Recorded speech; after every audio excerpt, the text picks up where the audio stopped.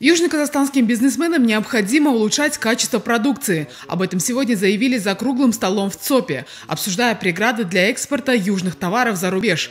В диалоге приняли участие крупные экспортоориентированные предприятия и представители страховых компаний. Специалисты посоветовали бизнесменам пересмотреть отношение к качеству выпускаемых товаров.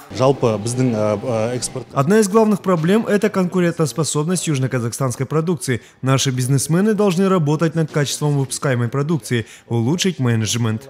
Несмотря на то, что южно-казахстанский бизнес расширяет сотрудничество с соседними регионами, процесс тормозят и технические вопросы. Об этом говорят сами предприниматели. Предприятие «Онстукус» на рынке уже несколько лет. 30% своей продукции компания поставляет в Россию. Недовольство предпринимателей вызывает логистические нюансы. Некоторые вопросы возникают вот по логистике. Вот сейчас, например, основная доставка у нас идет автотранспортом. И вот в связи с тяжелыми погодными условиями не все компании товарные, ну, э, логистические, э, э, которые занимаются транспортировкой товара, могут выполнить рейсы. Да?